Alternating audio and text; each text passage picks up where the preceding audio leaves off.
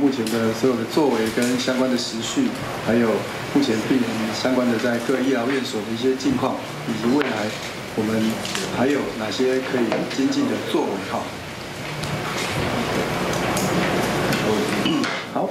那首先谈到这个时序的经过哈，大概目前哈，我跟各位确认哈，我们实际通报进来食物中毒的案例，到现在四点半为止是总共八例哈。那各位媒体记者朋友们可能收到的是七例了哈。那因为三军总医院哈，在约莫一个小时前又通报了一例哈，那表现上也是肝衰竭跟败血性休克，那住到加护病房里面去哈。所以目前正确的数字在此时此刻是八例。那这个时间点非常重要，因为未来可能会在可能有还会有不同的新的案例，我们数字上可能会有所调整哈。那这也跟记者朋友们说明。然后再来是关于一九九九进线的部分哈。那最早哈是在诶星期天的晚上哈，星期天的晚上，诶一九九九进线。不过呢，我们在一九九九进线之前提到有食物中毒可疑率之前哈，我们本局哦，本府在呃星期天的中午有收到新北市卫生局提供的讯息，提到新北市有找到食物中毒的案例。那这个案例呢，曾经在台北市 A 十三的这一个地方哈，有用过诶餐餐点，然后有这样的通报之后，我们立刻责成我们当日值班的相关的稽查人员哈，在下午的时候前往稽查。那我们稽查的过程当中，当然是留下相关的生物的基证哦，包括说，呃，作业人员守护的一个细菌的采样，哦，还有包括这些使用的刀具跟砧板等等，有接触过这些相关食材的这个生物基证的一个采样作为培养等等，发现病原菌的依据哈。那当然，因为通报的时候，煮给那个食物中毒案例的这些食材都已经没有留存了哈，所以。我们只能就环境评估之后，给他建议，他的环境可能不好，我们立即限期改善，再加上所有的生物基证做裁剪以后，就返回哈。那当晚又收到那个一九九九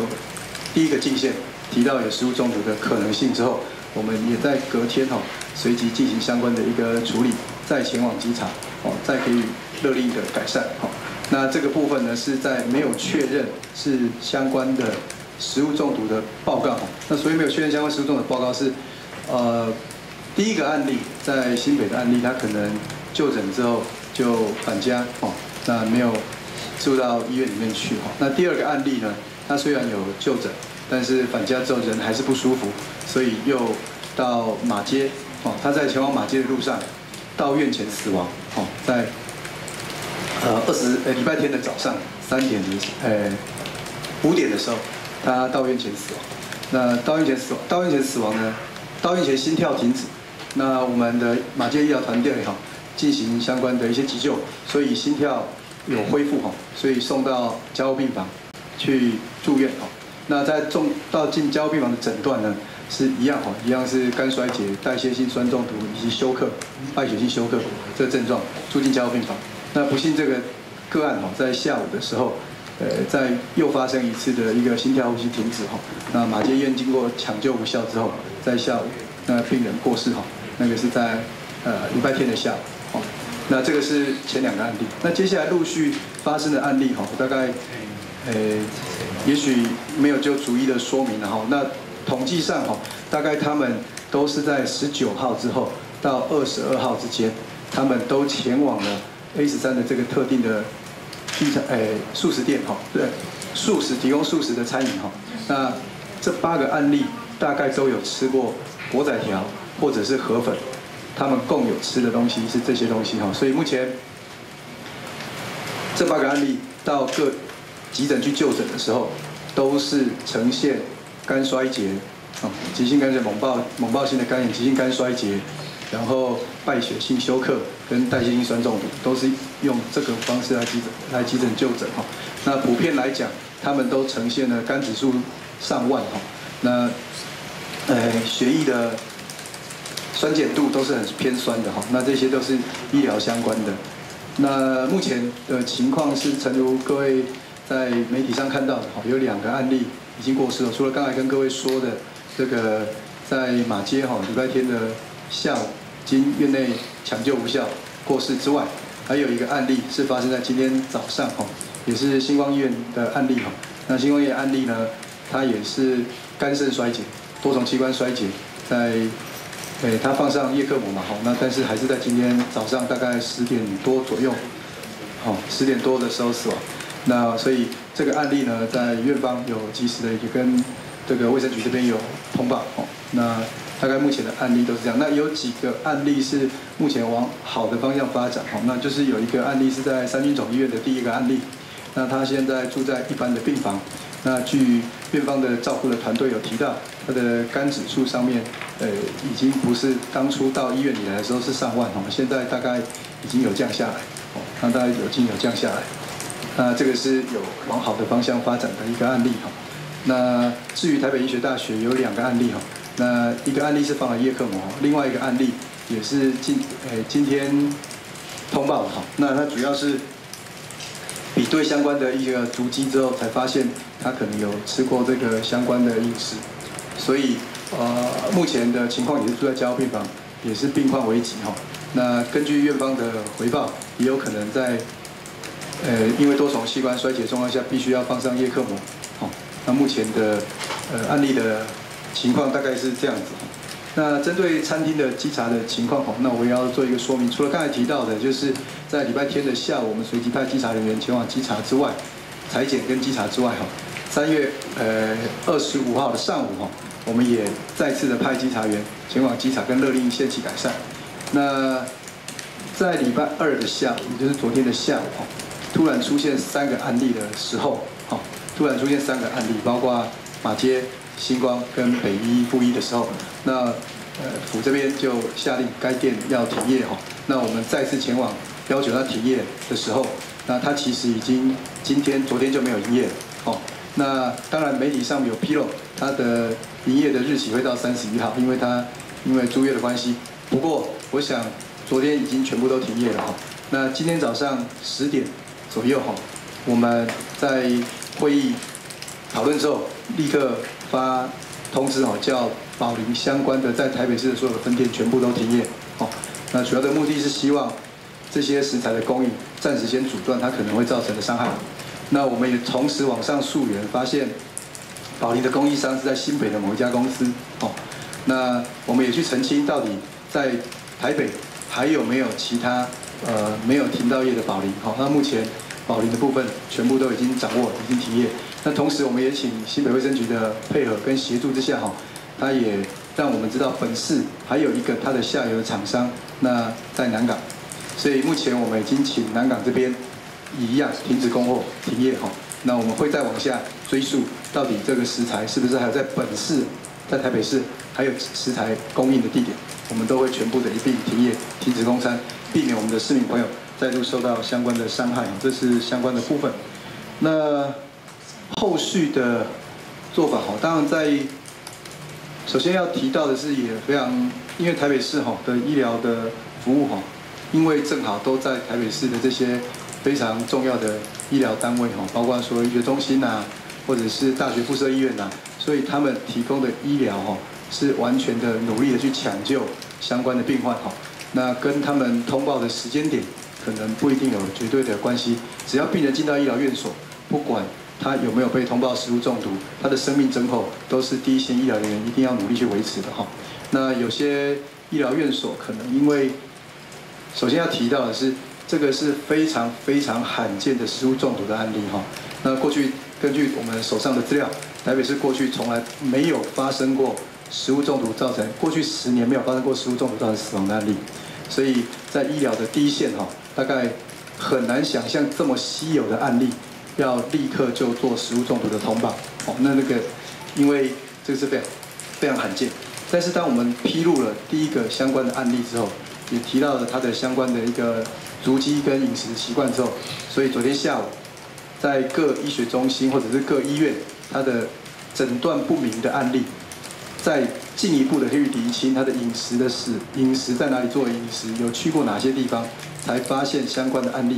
因为没有诊断肝衰竭，然后这个所谓代谢性酸中毒，还有败血性休克合并起来，医疗院所就立即的向卫生局来通报哈，这也是从通报的数量从呃昨天的下午开始变多的原因在这里哈。那不过通报的时间点并不表示医疗才开始动起来，医疗早在所有的病人进到医疗机构第一时间哈，包括呃马杰提到的这个第一个案例到院前死亡这个案例都都是被救回来，说医疗都持续在进行当中，这也跟各位媒体朋友说说明哈。那当然这整个过程当中不是只有卫生局在全力的对抗这个这一次的食安的事件哦，公共卫卫生的一个危机哈。那主要还包括跨局处的合作，我们要感谢目前检调也介入调查哈，检调单位还有警察在今天凌晨的时候也陪同我们的稽查人员，还有我们的食安官前往该事发地哈，进行所谓的环境的一个证物的保存等等环境的调查哦。那包括警察单位，还包括呃社会局哈，那当然也提供了尽快的要来提供相关的社会资源的一个服务哈，比如说跟家属来接触。然后来了解家属他们的一些经济的状况等等，哦，我们会尽快的来办理。那包括法制局的消保官等等，也立即哈针对宝林的这家公司去了解他们的一个投保的状况，哦，还有他的一些钱的一些状况，是否有足够的机会来进行相关的赔偿。那那当然也要在这个过程当中，中央哈也在去，诶，昨天二十六号的。下午哈有协同我们卫生局人员前往机场跟环境的一个采样哈，那我也要跟各位说明的是，医疗机构目前哈针对所有的病人所培养的一般型的病毒跟细菌会造成食物中毒的病毒跟细菌的培养，目前都是阴性的，好，也就是常见的这些细菌或者是病毒培养所造成的食物中毒，目前都没有发现哦。那显然。这个是非常罕见的食物中毒，可能是某一些细菌性的毒素，或者是其他等等都有可能。所以目前呃医疗机构针对这一部分哈，那我们的中央疾管署等等，或者是这个食药署，他们针对这个很罕见的这些这些可能是细菌性的毒素或相关等等，都有在昨天下午的时候采完相关的证物哈，包括到今天凌晨采完相关的证物带回去做化验跟培养。这需要一点点时间哦。那好，那当然，呃，因为它极为罕见哦，所以在第一线的呃处理上，大家都是尽力的救治哦。那当然，他们的共有的症状，以及共同吃的食物哦，以及去共同的店，这些我们都已经做了详尽的调查。那也持续在关注哦，台北市是不是还会有新的一些状况跑出来？我们都随时密切在监测，二十四小时密切在监测。那同时，我也想要透过呃媒体朋友们哈来呼吁我们的市民朋友哈，如果哦在最近有曾经有到这些相关的呃 A 十三的这个店去做过饮食，然后呢有身体不适的症状哈，一定要尽快的到就近的大型的医疗院所去就医哈，因为目前看起来所有的病人，所有的目前这八个案例。通通都是在吃了刚才提到的龟腰条或者是这个河粉之后，十二小时内就发病哈，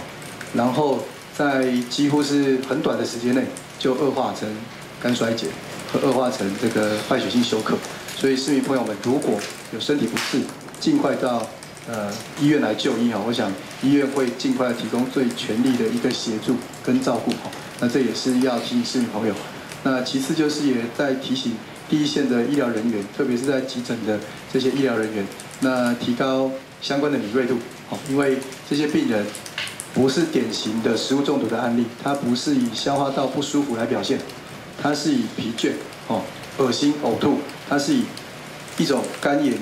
发作的一个表现来呈现哦，所以也请第一线的医疗人员，不论是门急诊，如果遇到这样的病人的表现，要特别提高警觉，哦，进行尽快的救治，哦。那以上跟各位说明。好，观众朋友，根据卫生局的厘清呢，两名死者都吃了果条跟河粉，十二小时之内发病，肝指数破万，引发了肝肾衰竭、败血症死亡。目前已经要求宝林的食材供应商暂停供货来厘清疑虑。而北市卫生局也表示，过去十年从来没有发生过食物中毒致死的案例，这一次的事件十分的罕见。